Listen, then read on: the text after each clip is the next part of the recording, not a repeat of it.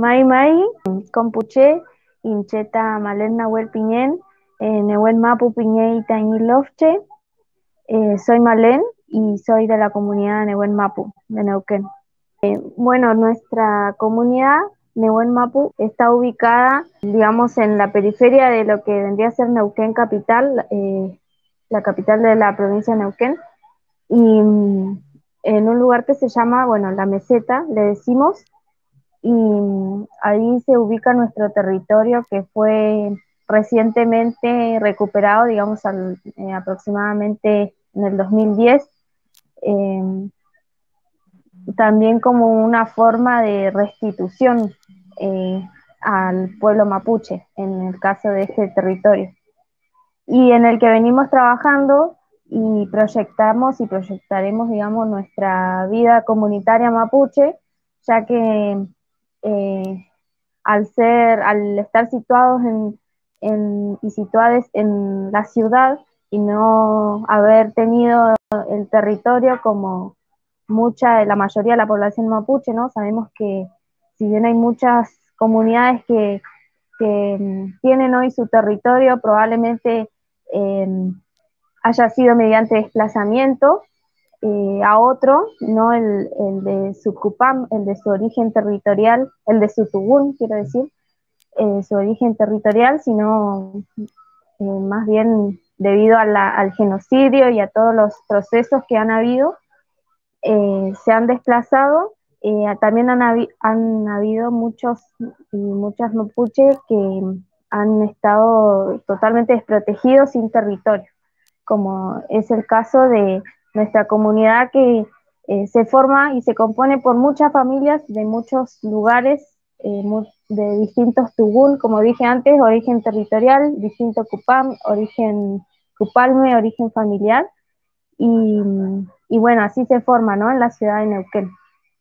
Eh, el pueblo mapuche, en el caso de, de Argentina, nosotros hablamos del territorio mapuche como el Gualmapu, ¿no? Decimos. Pero además, ah, como el Gualmapu, el territorio mapuche ocupa también parte del territorio de Chile, eh, a quienes habitamos de este lado de la cordillera, eh, nos llamamos Puelche, ¿no?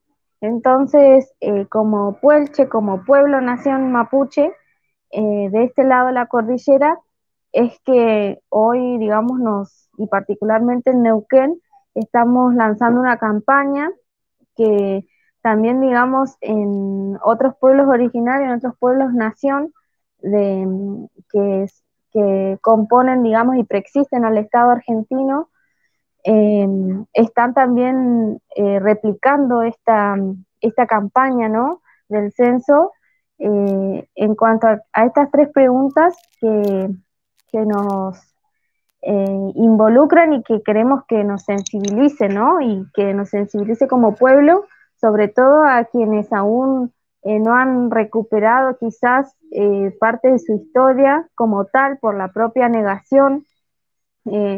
al implementarse los estados, justamente uno de los objetivos que han tenido, digamos, mediante distintos sistemas que han sido opresores para, para, en el caso de los pueblos originarios, para nosotros, ¿no? Como, como identidades originarias, em, eh, nos han perjudicado y eso hace que hoy la mayoría, en el caso del pueblo mapuche, y creo que todos los pueblos eh, en particular, hace que la mayoría no, hoy no tengamos esa identidad eh, fortalecida, está muy debilitada y empobrecida. nosotros siempre decimos, no somos pueblo pobre, sino pueblo empobrecido y, la gran mayoría de la población, que sería muy bueno eh, dar cuenta en este censo que, esté, que exista, que existe, em, eh, sabemos que no es posible, entonces por eso lanzamos la campaña para justamente eh, fortalecer eso y que y deseando que este censo 2022 sea el censo de los pueblos originarios.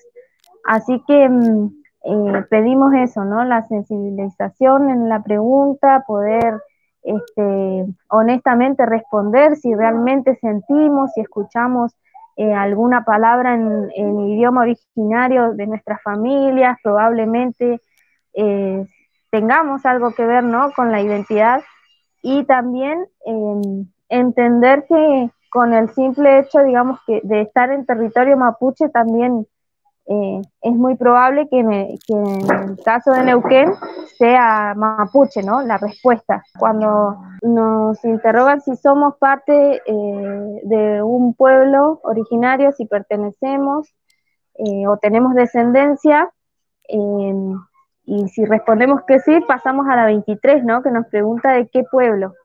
Y ahí, digamos, eso consideramos que es muy peligroso, ¿no?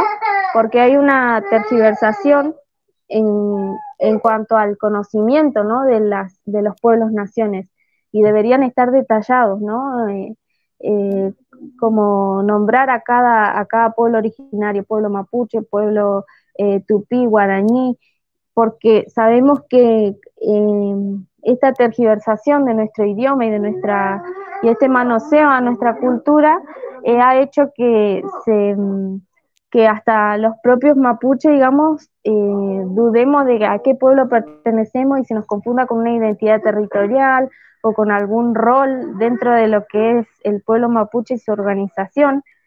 Em, y entonces, bueno, esa es una gran confusión, por eso invitamos eh, a que pongan que son del pueblo mapuche, ¿no? En el caso que tenga que ver, ¿no? Con, el pueblo mapuche y si no, bueno, con, con cada pueblo al que pertenece. Y bueno, luego eh, sumar que en la pregunta 24 nos consultan ¿no? si tenemos alguna relación con la lengua. Y nosotros consideramos que en este caso el pueblo mapuche, su lengua es el mapuzugún, es nuestra lengua y por otro lado Neuquén, toda la toponimia es en nuestro idioma. Eh, nosotros somos ciudadanos igual, ciudadanos argentinos, aunque no, aunque no, no somos argentinos, nuestra nación no es argentina, aunque así aparezca en el DNI por la nacionalidad que uno tiene que, la nacionalidad impuesta en todo caso sería. Eso ojalá se revierta con un Estado plurinacional en que podamos nuestro DNI tener la nacionalidad mapuche.